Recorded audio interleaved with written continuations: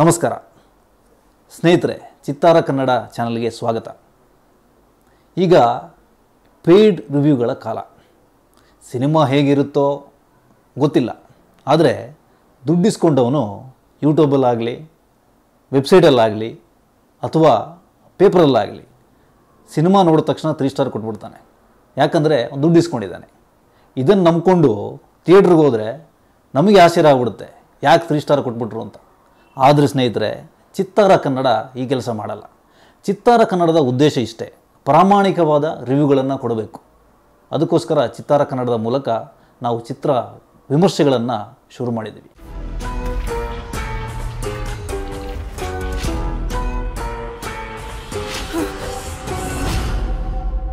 ಸ್ನೇಹಿತರೆ, ನಿಮಗೆ ನಿರ್ಭಯ ಕೇಸ್ ಬಗ್ಗೆ ಗೊತ್ತು.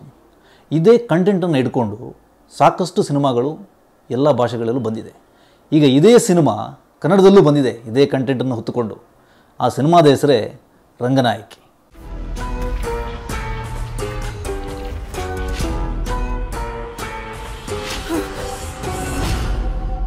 ರಂಗನಾಯಕಿ ಅಂದ ತಕ್ಷಣವೇ ನಿಮಗೆ ನೆನಪಾಗೋದು ಪುಟ್ಟಣ್ಣ ಕಣಗಾಲ್ ಅವರು. ಮತ್ತು ಅದರಲ್ಲಿ ನಟಿಸಿದ ಆರತಿಯವರು, ರಂಗನಾಯಕಿ ಪಾತ್ರನ ಮಾಡಿದ ಆರತಿಯವರು. ಅವರ ಮನೋಜ್ಞವಾದ ಅಭಿನಯ ನಿಮ್ಮ ಕಣ್ಣೆದುರಿಗೆ ಬಂದೇ ಬರುತ್ತೆ. ಆದರೆ ಇವತ್ತು ನಾವು ಹೇಳಕ್ಕೆ ಹೊರಟಿರೋದು ಪುಟ್ಟಣ್ಣ ಕಣಗಾಲ್ ಅವರ ರಂಗನಾಯಕಿ ಚಿತ್ರದ ಬಗ್ಗೆ ಅಲ್ಲ. ನಾವು ಹೇಳ್ತಾ ಇರೋದು ದಯಾಳ್ ಪದ್ಮನಾಭನ್ ನಿರ್ದೇಶನ ಮಾಡಿರುವ ರಂಗನಾಯಕಿ ಚಿತ್ರದ ಬಗ್ಗೆ.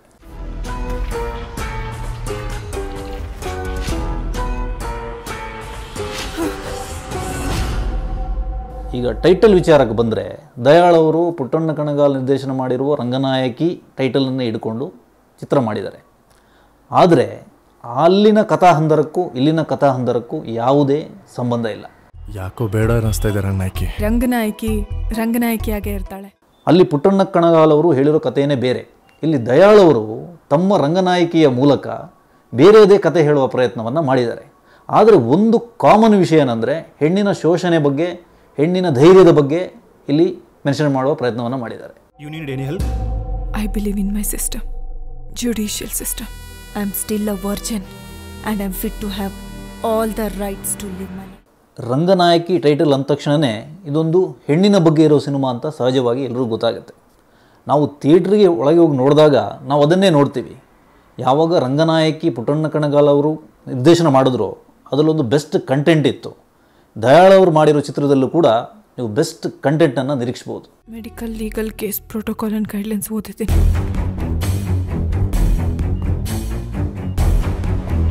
ಕುಂತಿ ಸಮಾಜಕ್ಕೆ ಹೆದರಿ ಕರ್ಣನ ನೀರಿಗೆ ಬಿಟ್ಲು. ಚಿತ್ರದಲ್ಲಿ ಪ್ರಮುಖವಾದ ರಂಗನಾಯಕಿ ಪಾತ್ರವನ್ನು ಮಾಡಿದವರು ಅದಿತಿ ಪ್ರಭುದೇವ್ ಅವರು ಈ ರಂಗನಾಯಕಿ ಪಾತ್ರ ಚಿತ್ರದಲ್ಲಿ ಬೋಲ್ಡ್ ಅಂಡ್ ಬ್ಯೂಟಿಫುಲ್ ಪಾತ್ರ. ಸೆಕ್ಷುಯಲ್ ವೈಲೆನ್ಸ್ ಅಂತೆ. And I am the victim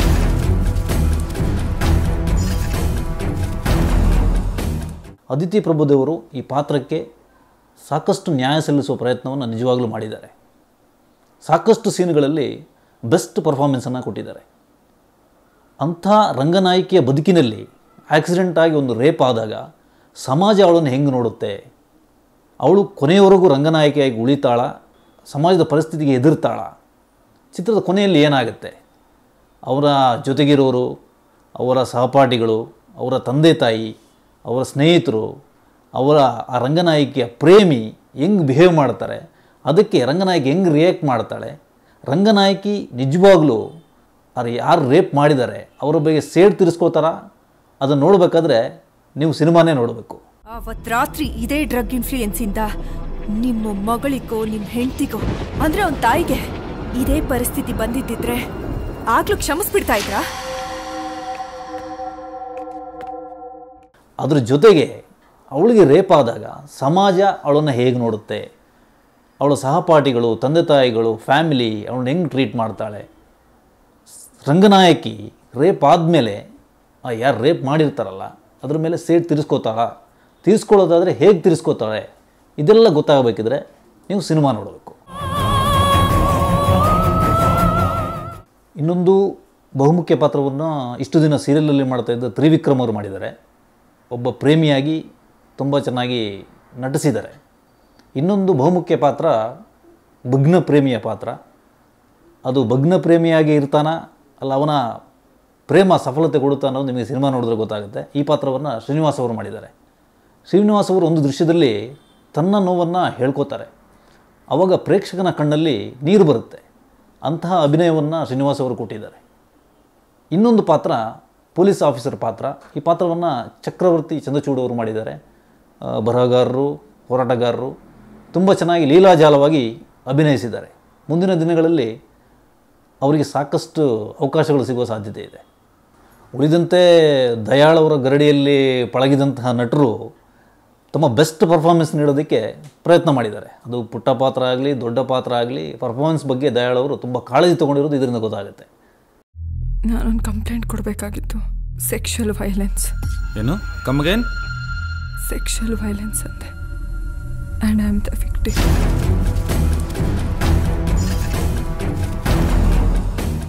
ಸ್ನೇಹಿತರೆ, ಈಗ ಸಿನಿಮಾದ ಪ್ಲಸ್ ಪಾಯಿಂಟ್ ಬಗ್ಗೆ ಮಾತಾಡೋಣ. ಒಂದನೇದಾಗಿ ಸಿನಿಮಾದ ಕಂಟೆಂಟ್ ನೋ ಡೌಟ್ ಬೆಸ್ಟ್ ಕಂಟೆಂಟನ್ನು ದಯಾಳ್ ಅವರು ಆರಿಸ್ಕೊಂಡಿದ್ದಾರೆ. ಆಮೇಲೆ ಪರ್ಫಾರ್ಮೆನ್ಸು ಪ್ರತಿಯೊಂದು ಪಾತ್ರವೂ ಸಾಕಷ್ಟು ಒಳ್ಳೆಯ ಪರ್ಫಾರ್ಮೆನ್ಸನ್ನು ನೀಡಿದೆ. ಇನ್ನು ಸಂಭಾಷಣೆ ವಿಷಯಕ್ಕೆ ಬರೋದಾದರೆ, ನವೀನ್ ಕೃಷ್ಣ ಅವರ ಸಂಭಾಷಣೆಯನ್ನು ಮರೆಯಂಗೇ ಇಲ್ಲ. ಯಾವಾಗ ದಯಾಳ್ ಅವರು ಕಿರುಚಿತ್ರನ ಒಂದು ಸಿನಿಮಾ ಮಾಡ್ತೇನೆ ಹೊರಟರೋ ಸಂಭಾಷಣೆ ದೊಡ್ಡ ಶಕ್ತಿ. ನವೀನ್ ಕೃಷ್ಣ ಅವರು ತುಂಬ ಒಳ್ಳೆಯ ಕೆಲಸ ಮಾಡಿದ್ದಾರೆ. ಈ ಸಿನಿಮಾ ಕೂಡ ದಯಾಳ್ ಬ್ರ್ಯಾಂಡ್ ಚಿತ್ರ ಯಾಕೆ ಹೇಳ್ತೀನಿ ಅಂದರೆ, ನೀವು ಸಿನಿಮಾ ಓಪನಿಂಗ್ ಸೀನ್ಗಳು ನೋಡಿದ್ರೆ ಲ್ಯಾಗ್ ಅನಿಸುತ್ತೆ. ಅದೇ ಸೀನ್ಗಳು ಚಿತ್ರದ ಕ್ಲೈಮ್ಯಾಕ್ಸ್ ಅಂತ ಬಂದಾಗ ಯಾವುದು ನಮಗೆ ಲ್ಯಾಗ್ ಅನಿಸುತ್ತೋ ಅದು ತುಂಬ ಇಂಪಾರ್ಟೆನ್ಸ್ ಪಡ್ಕೊಳ್ಳುತ್ತೆ. ಅಂದರೆ ದಯಾಳ್ ಅವರಿಗೆ ಕನ್ನಡ, ನಾನು ತಿಳಿದ ಪ್ರಕಾರ ಕನ್ನಡ ಓದೋಕ್ಕೆ ಬರಲ್ಲ, ಕನ್ನಡ ಬರೆಯೋಕ್ಕೆ ಬರಲ್ಲ. ಆದರೂ ಕನ್ನಡದಲ್ಲಿ ಇಂಥ ಒಂದು ಒಳ್ಳೆ ಕಂಟೆಂಟನ್ನು ಪ್ರೇಕ್ಷಕರಿಗೆ ಕೊಡ್ತಾರಂದರೆ ನಿಜವಾಗ್ಲೂ ನಾವು ಬೇಷ್ ಅನ್ನಲೇಬೇಕು ಅದು ಕೂಡ ಕೇವಲ ಕಂಟೆಂಟನ್ನು ಕೊಡೋದಲ್ಲ, ಅದನ್ನು ಕಮರ್ಷಿಯಲ್ ಹೆಂಗೆ ರೀಚ್ ಮಾಡ್ಬೋದು ಪ್ರೊಡ್ಯೂಸರ್ನ ಹೆಂಗೆ ಸೇಫ್ ಮಾಡ್ಬೋದು, ಇದನ್ನು ಕೂಡ ಯೋಚನೆ ಮಾಡುವಂಥ ನಿರ್ದೇಶಕ ಕನ್ನಡದಲ್ಲಿರೋದು ನಮಗೆ ಹೆಮ್ಮೆ ಅಂತ ನಾವು ಹೇಳ್ಬೋದು. ಸಹಜವಾಗಿ ಸಿನಿಮಾದಲ್ಲಿ ರೇಪ್ ಸೀನನ್ನು ತೋರಿಸಬೇಕಾಗುತ್ತೆ. ಆದರೆ ಈ ಸೀನನ್ನು ದಯಾಳ್ ಅವರು ತುಂಬ ಜಾಣತನನ್ನು ತೋರಿಸಿದ್ದಾರೆ. ಯಾವುದೇ ಒಂದು ಅತಿರೇಕ ಇಲ್ಲದೆ ತುಂಬ ಅಂದರೆ ಮನಸ್ಸಿಗೆ ತಟ್ಟುತ್ತೆ. ಆದರೆ ದೃಶ್ಯದಲ್ಲಿ ಯಾವುದೇ ಅತಿರೇಕತೆ ನಮಗೆ ಕಾಣಲ್ಲ. ಅವರು ವಿಭಿನ್ನ. ಎಷ್ಟು ತೋರಿಸ್ಬೇಕೋ ಪ್ರೇಕ್ಷಕನಿಗೆ ರೇಪ್ ಅನ್ನೋದು ರಿಜಿಸ್ಟರ್ ಆಗಬೇಕು. ಅಷ್ಟೇ ಮಾಡಿದ್ದಾರೆ. ಅದಕ್ಕೆ ದಯಾಳ್ ಅವರಿಗೆ ಅಪ್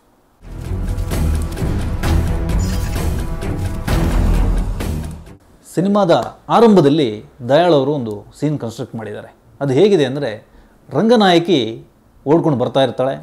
ಅವಳ ಮುಖದಲ್ಲಿ ತುಂಬ ಭಯ ಇರುತ್ತೆ. ಒಂದಷ್ಟು ನಾಯಿಗಳು ಅವಳನ್ನ ನಟಿಸ್ಕೊಂಡು ಬರ್ತಾ ಇರುತ್ತೆ. ಇಲ್ಲಿ ನಾಯಿಗಳನ್ನು ರೇಪ್ ಮಾಡುವ ವಿಕೃತ ಮನಸ್ಸಿನ ಮನುಷ್ಯರಿಗೆ ದಯಾಳವರು ಹೋಲಿಸಿದ್ದಾರೆ. ರಂಗನಾಯಕಿ ಬರ್ತಾ ಬರ್ತಾ ಅವಳಿಗೆ ಅಡ್ಡ ಒಂದು ಮುಳ್ಳು ಬೇಲಿ ಬರುತ್ತೆ. ಅಲ್ಲಿ ಅವಳು ನಿಂತ್ಕೋತಾಳೆ. ಸಿಂಬಾಲಿಕ್ಕಾಗಿ ಅವಳ ಬದುಕಿಗೆ ಒಂದು ಬೇಲಿ ಬಿತ್ತು, ಕಷ್ಟಕ್ಕೆ ಬಿದ್ದಲು ಅಂತ ತೋರಿಸ್ತಾಳೆ. ಅದೇ ಸೀನ್ನ ಕ್ಲೈಮ್ಯಾಕ್ಸಿಗೆ ಹಂತಕ್ಕೆ ಬಂದಾಗ ರಂಗನಾಯಕಿ ನಗ್ನಗ್ತಾ ಬರ್ತಾ ಇರ್ತಾಳೆ, ಖುಷಿ ಖುಷಿಯಿಂದ ಓಡ್ಕೊಂಡು ಬರ್ತಾ ಇರ್ತಾಳೆ. ಅವಳನ್ನು ನಿಜವಾಗಲೂ ಪ್ರೀತಿಸುವ ಪ್ರೇಮಿ ಓಡಿಸ್ಕೊಂಡು ಬರ್ತಾ ಇರ್ತಾನೆ. ಬರ್ತಾ ಬರ್ತಾ ರಂಗನಾಯಕಿ ಒಂದು ಹೂವಿನ ಬಳ್ಳಿಯ ಬೇಲಿಗೆ ಎದುರಾಗ್ತಾಳೆ. ಇದರಿಂದ ಏನು ಅರ್ಥ ಆಗುತ್ತೆ ಅಂದರೆ ನಮಗೆ ದಯಾಳವರು ಚಿತ್ರವನ್ನು, ಒಂದು ಸಿನಿಮಾವನ್ನು, ಲಿಟ್ರೇಚರ್ ಹೇಗೆ ಸಿನಿಮಾ ಆಗುತ್ತೆ, ಸಿನಿಮಾ ಹೇಗೆ ಲಿಟ್ರೇಚರ್ ಆಗುತ್ತೆ ಅನ್ನುವ ಎರಡು ವಿಷಯಗಳ ಸಮ್ಮಿಲವನ್ನು ನೀವು ಚಿತ್ರದಲ್ಲಿ ಕಾಣಬಹುದು ಸ್ನೇಹಿತರೆ. ಇನ್ ಜನರಲ್ ಹೆಣ್ಣಿಗೆ ಒಂದು ನಂಬಿಕೆ ಇರುತ್ತೆ. ಗಂಡಿರುತ್ತೆ ತನ್ನನ್ನು ಕಾಪಾಡೋದಕ್ಕೆ ಅಂತ. ಮೈನಸ್ ಪಾಯಿಂಟ್ಗಳಿದೆ. ಏನಂದರೆ ಒಂದು ಲೊಕೇಶನ್ ವಿಚಾರಕ್ಕೆ ಬರೋದಾದರೆ ನಮಗೆ ನೋಡ್ತಾ ಇದ್ದರೆ ಲೊಕೇಶನ್ಸ್ಗಳು ತುಂಬ ಕಡಿಮೆ. ಅಲ್ಲಲ್ಲೇ ಶೂಟ್ ಮಾಡೋದ ಫೀಲ್ ಬರುತ್ತೆ ನಮಗೆ. ಇನ್ನು ಚಿತ್ರದ ಕಾಸ್ಟ್ಯೂಮ್ ಡಿಸೈನ್ ಯಾರು ನಮ್ಮ ತ್ರಿವಿಕ್ರಮ, ಮೇಷ್ಟ್ರ ಪಾತ್ರ ಮಾಡುವವರು ಅವರ ಕಾಸ್ಟ್ಯೂಮ್ ಆಗಲಿ ಕಾಸ್ಟ್ಯೂಮ್ ಡಿಸೈನ್ ಬಗ್ಗೆ ಇನ್ನಷ್ಟು ಮುತುವರ್ಜಿ ವಹಿಸಬೇಕು ಅಂತ ಅನಿಸುತ್ತೆ ಸಿನಿಮಾ ನೋಡ್ತಾ ಇದ್ದಂಗೆ. ಆಮೇಲೆ ರಂಗನಾಯಕಿ ಅನ್ನೋ ಆ ಪಾತ್ರದ ಹೆಸರು ಸಿನಿಮಾದಲ್ಲಿ. ಯಾಕಂದರೆ ಸಾವಿರದ ಒಂಬೈನೂರ ಎಂಬತ್ತೊಂದರಲ್ಲಿ ಬಂದ ರಂಗನಾಯಕಿ ಆ ಕಾಲಘಟ್ಟ ಬೇರೆ, ಈಗಿನ ಜನ್ರೇಷನ್ ಬೇರೆ. ರಂಗನಾಯಕಿ ಅನ್ನೋ ಹೆಸರು ಈಗಿನ ಜನ್ರೇಷನ್ನ ಹೆಣ್ಣು ಮಕ್ಕಳಿಗೆ ಎಷ್ಟು ಸೂಕ್ತ ಆಗುತ್ತೆ ಅನ್ನೋದು ಒಂದು ಪ್ರಶ್ನೆಯಾಗಿ ಉಳಿದುಕೊಳ್ಳುತ್ತೆ. ಆದರೆ ಈ ಸಣ್ಣ ಪುಟ್ಟ ಮೈನಸ್ಗಳನ್ನು ಇಡೀ ಚಿತ್ರದ ಕಂಟೆಂಟು ಹೊಡೆದಾಕ್ಬಿಡುತ್ತೆ ನಿಮಗೆ ಕೊನೆಯಲ್ಲಿ ಚಿತ್ರದ ಟೈಟಲ್ಗಿಂತ ಕಂಟೆಂಟೇ ಸಿನಿಮಾನ ಗೆಲ್ಲಿಸಿಬಿಡುತ್ತೆ. ನಿಮಗೆ ಟೈಟಲ್ ಮರೆದೋಗುತ್ತೆ. ಹೊರಗಡೆ ಬರಬೇಕಿದ್ರೆ ಕಂಟೆಂಟ್ ನಿಮ್ಮ ಮನಸ್ಸಲ್ಲಿ ಇರುತ್ತೆ. ಅದು ದಯಾಳ್ ಶಕ್ತಿ ಅದು ಲಿಟ್ರೇಚರ್ನ ಶಕ್ತಿ ಅಂತ ಹೇಳಕ್ಕೆ ಇಷ್ಟಪಡ್ತೀನಿ. Hey are you fine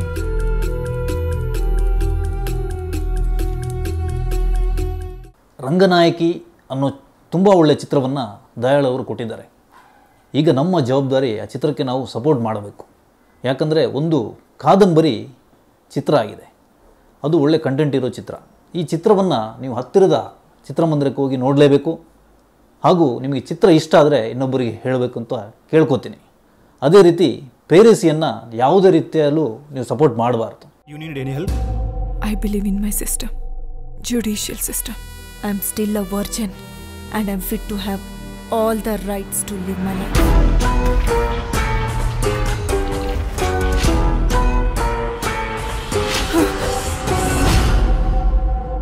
ಸ್ನೇಹಿತರೆ ಇನ್ನೊಂದು ಕನ್ನಡ ಚಿತ್ರದ ವಿಮರ್ಶೆಯೊಂದಿಗೆ ಮತ್ತೆ ನಿಮ್ಮ ಮುಂದೆ ಬರ್ತೀನಿ. ಅಲ್ಲಿವರೆಗೆ ಚಿತ್ತಾರ ಕನ್ನಡ ಚಾನೆಲ್ ನೋಡ್ತಾ ಇರಿ ಮತ್ತು ಸಬ್ಸ್ಕ್ರೈಬ್ ಮಾಡಿ. ಬೆಲ್ ಬಟನ್ನ ದಯವಿಟ್ಟು ಪ್ರೆಸ್ ಮಾಡಿ. Thank you.